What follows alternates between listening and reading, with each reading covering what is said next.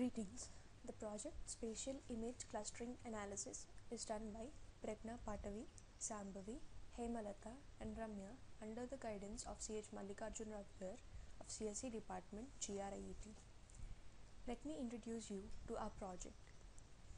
Geographically, many changes takes place due to various factors which might either be natural or man-made at almost every second. After a certain period of time, when we try to notice these changes, it might be difficult for human eye to notice the changes unless it is distinct. And also, changes that are so vast in a region when occurred makes it difficult for the humans to perceive the location to which the change belongs to. As our main project, we propose the idea of spatial data mining with the concept of clustering as its prime technique, in which we cluster the spatial data sets and evaluate the results. The pictorial spatial data sets are converted into matrices using MATLAB. These matrices are then completely or partially fed as input to the algorithm. What is data mining? Data mining is the process of analyzing data from different perspectives and summarizing it into useful information. Before a data mining algorithm can be used, a target data set must be assembled. Pre-processing is essential to analyze the multivariate data sets before data mining. The target set is then cleaned. Data cleaning removes the observations containing noise and those with missing data. Data mining involves six common classes of tasks. They are anomaly detection, association rule learning, clustering, classification, regression, and summarization. What is spatial data mining?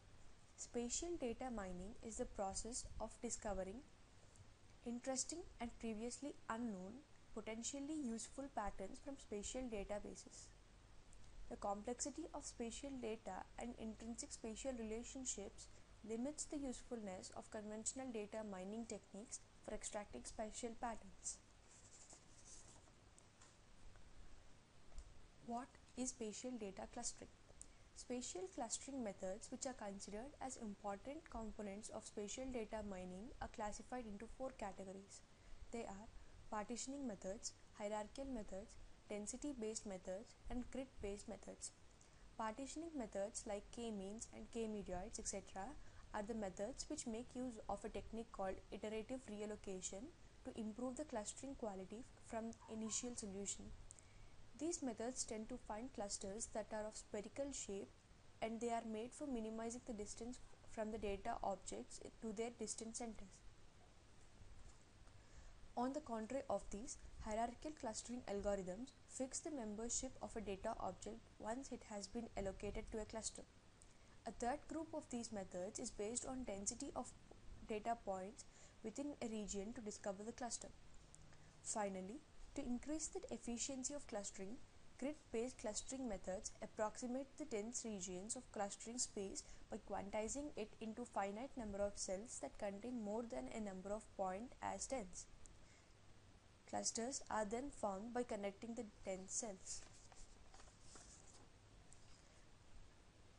Let us know more about the algorithm DBSCAN. DBSCAN, also known as Density Based Spatial Clustering of Application with Noise, is a density based algorithm. It was proposed by Martin Ester, Hans Peter Kriegel, Jörg Sander, and Xiaowei Xu in 1966. It is a density based clustering algorithm because it finds a number of clusters starting from the estimated density distribution of corresponding nodes. It takes two parameters, epsilon and min points. Epsilon is the maximum radius of the neighborhood, whereas min points is the num minimum number of points in an epsilon neighborhood of that point. Let us know the DBSCAN terminology. A point is said to be a core point if it is a point inside the cluster, that is, a point having an epsilon neighborhood not less than min points. A point is said to be a border point if it lies on the border of the cluster, that is it has its epsilon less than that of the min points. A point, any other point which is not a core point or a border point is a noise point. Epsilon neighborhood object within a radius of epsilon from an object.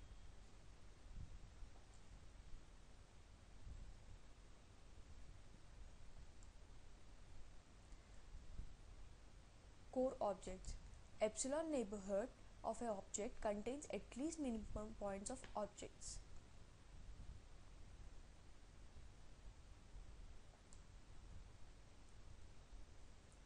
Directly density reachable.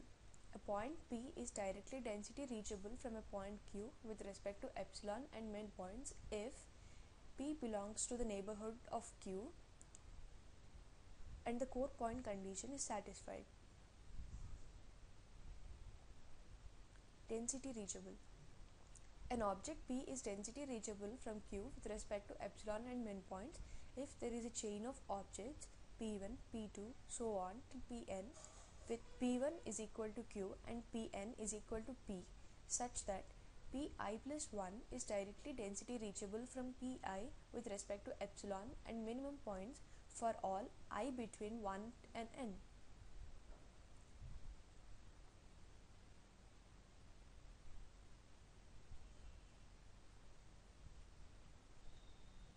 Density connectivity.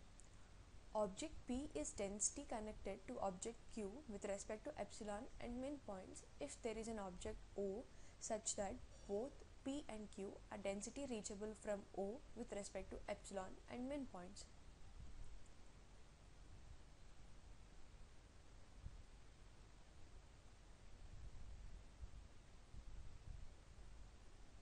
Let us know the advantages of DBSCAN over the k-means.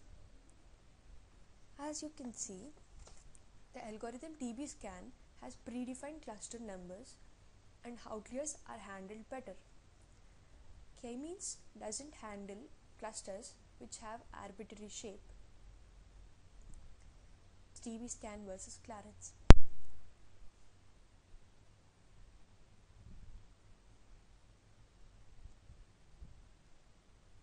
DBSCAN defines the clusters with high definition than that of the CLARANS. DBSCAN is more effective in discovering the clusters of arbitrary shape than CLARANS. DBSCAN can identify noise whereas CLARANS cannot. Runtime of CLARANS is comparatively larger than DBSCAN. CLARANS cannot be applied for larger databases. Results show that DBSCAN outperforms CLARANS by a factor of at least 100 in terms of efficiency. Now, let us see the implementation of our project. As you can see on the screen, the GUI of our project is there. In order to select an image, please click on the browse. As we select an image and open it, it tries to form the clusters. Repeating the same procedure, we select another image and then open it.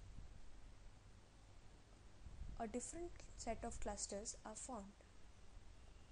On a comparative pretext, we can observe the changes that are taking place. In the first image that was considered, the clusters are formed like this. For the first image, the minus 1 indi indicates the outliers and noise points. And also, three other clusters are formed. The output is clustering of images is represented in the form of histograms. The x-axis gives the cluster number whereas the y-axis gives the number of objects in each cluster. Minus 1 cluster in the x-axis represents the outlier points which is defined as a set of points in the database not belonging to any cluster. Similarly, for the second image which was considered after a natural disaster, more number of clusters are formed because of changing properties. Similarly, minus 1 cluster indicates the outlier points which is defined as a set of points in the database not belonging to any cluster and also six other different clusters are formed. Thus, we can compare the changes. The complexity of our algorithm when a spatial index is used is of order of log n log n. Without using a spatial index, the complexity of our algorithm is order of n square. Thank you.